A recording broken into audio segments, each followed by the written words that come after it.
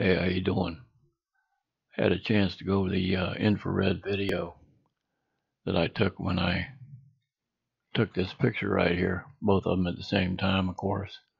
The uh, object was moving from the left to the right. I'll show you just a little few seconds of that in a minute. It's from uh, 933, and this object right here, to the untrained eye, of course, probably looks like an airplane, but I can assure you that it's not.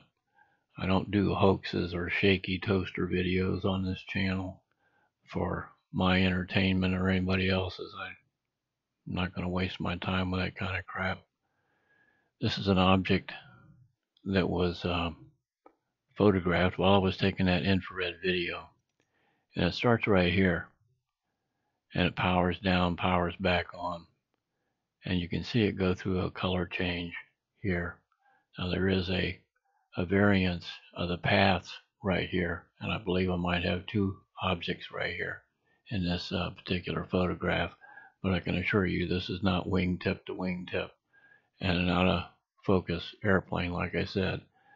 This particular piece of light spaghetti here, if you take it and put it on a string, you can kind of understand what it is that I'm talking about as it's going through these color changes right here. Let me show you a little bit better what I'm talking about here. Here's a couple different objects moving a couple different directions. Neither one of those are airplanes. Okay. They just happen to pulse at different times as they're going different directions. Now, the thing about it is, this is what they look like in the uh, visual uh, light spectrum here. Okay.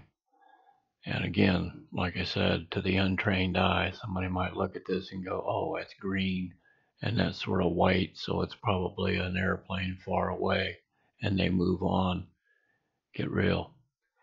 This is something else entirely different, like I said, to the untrained eye, because if it was an airplane, there would be a steady green light here. So immediately, anybody that knows anything about flying would be alarmed if the uh, avoidance lights were suddenly gone. Okay, that's not how FAA does things. So immediately looking at that, you can tell there's you know something else going on besides just an airplane flying along. Now this is the image that that cropped image came from. It's this right here. This is the spouting on the building or the gutter on the roof, I should say. And someone in the video pointed out that there was another object that they saw. So I went back and looked at it. Yeah, sure enough, there is. And let me uh, enhance that a little bit here. And notice the one on the bottom, the direction it's moving. And it's the one on the top. Again, it's an entirely different direction of movement. The one on the bottom was more horizontal like this. This is almost, uh, you know, going into the vertical and it's an object. It's opening and closing for the most part. And this is in the visual spectrum. Again, like I said, these photographs were taken during that infrared video of 933, which this is right here.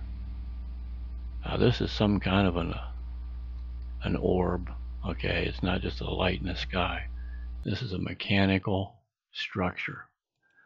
And what I did was cleaned up the uh, background and color enhanced this object that you just saw in that infrared video.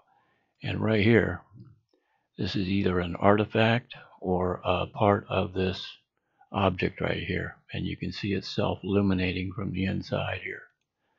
Now I wasn't sure if I should wipe off this at the top or not. I'll show you why. This is from 2021, okay? We show you an image from 2017. This is an actual photograph of something that I took, uh, yeah, November 2017. Now this is a, a, an actual photograph, okay? 300 millimeters for one and about a quarter seconds, okay? Now, you see the spindle on the top of it? This is actually an object. This is not an out of focus anything. This is in focus, whatever it is. in the visual light spectrum. But what I did was put it through some filters so it would match these other screen grabs from this uh, infrared video. But this is a real photograph. You can go back in some of my earlier uh, videos and have a look at it in in the uh, actual color that it was, kind of more of a gold color. But anyway, like I said, this is from almost four years ago. So whether these things are returning or not, I'm not sure. Maybe they never left. Maybe they never left. Anyway, back to the screen grabs. Here in this one here, you can see that object again without the spindle on the top. And this thing is doing exactly what I thought it was doing while I was filming it. It's rotating on a vertical axis. And as it's doing so, it's producing a multitude of colors, apparently from the inside out, right? Uh, again, this is what it looks like in uh, infrared. You can actually see the object. But in the visual uh, light spectrum, you get something entirely different. I mean, you can see it's, you know, it's constructed. It's an actual machine of some kind. And it's rotating, like I said, as it's flying along. And it's clearly not an airplane. I mean, I just, I just want people to understand when they're watching stuff on this channel. I've got better things to do than just shake the camera, okay?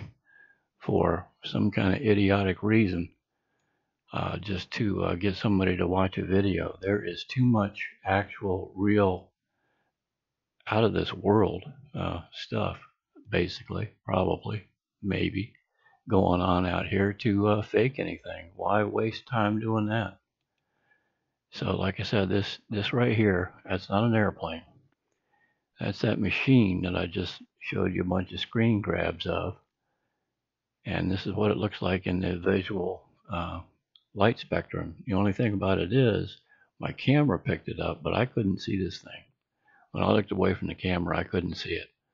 So all of this that's going on here, all of these images are in a uh, um, a spectrum, you know, above or below 400 to 800 nanometers, right? And it's being uh, produced and uh, by a machine probably looks like this. So anyway, um, thanks for stopping by to have a look. And uh, I just wanted to make sure, like I said, anytime you watch any videos or see any photographs on this channel here, uh, rest assured they're not hoaxed or CGI or faked or just, you know, phony in any kind of way. This is the real deal. This is real stuff here. I just can't exactly tell you what it is, though. You know what I'm saying? Anyway, thanks again. I hope you like, share, and subscribe. Don't forget to hit the notification bell there. And uh, take care out there no matter what you're doing. Hopefully, we'll get to do this again sometime.